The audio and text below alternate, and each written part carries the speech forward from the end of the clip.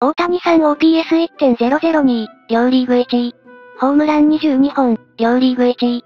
こいつは本物や、ホームラン王と奪三振王のダブルタイトル獲得とかになったら史上初？狂ってるわ野球の神や、OPS1 超えてるやつ一人しかおらんのか。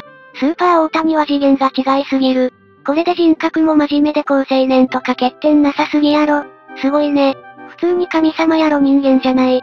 ここまで来ると衰える大谷とか見たくないわ。神のままでいてほしい。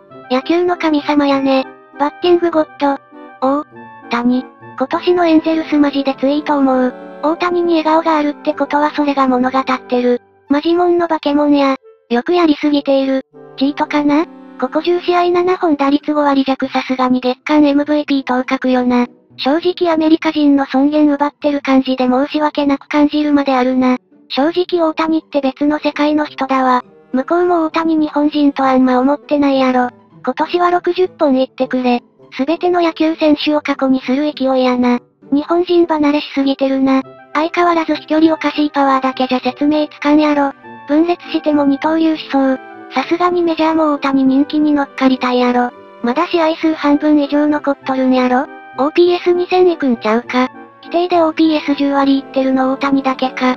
こいつ一人いるとぶっ壊れる。大谷は間違いなく天才だけど、その天才が一切遊ばずストイックに練習し続けたってのがレアケースよな。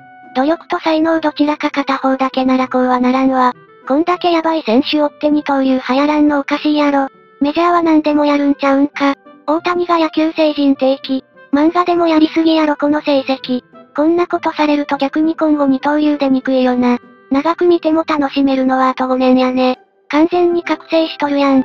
もう日本からこいつ超える選手が出てくることないんやなって思うと悲しいな。まあ今リアルタイムで見れてることが幸せなのかもしれんが、そういえば WBC 疲れとかないんかな。結構懸念されてた気がしたけど、ここんとこ飛距離バグりすぎやろ。二刀流のパイオニアかと思ってたら二刀流のハードルを極限まで引き上げた男。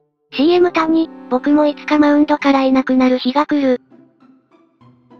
わい、ピエーン。このチャンネルでは南 J でのプロ野球やメジャーリーグなど、最新ニュース、注目を集めている話題をまとめています。頑張って更新しますのでお見逃しのないよう。よかったらチャンネル登録ぜひよろしくお願いします。高評価もいただけましたらとても励みになります。最後までご視聴いただきありがとうございました。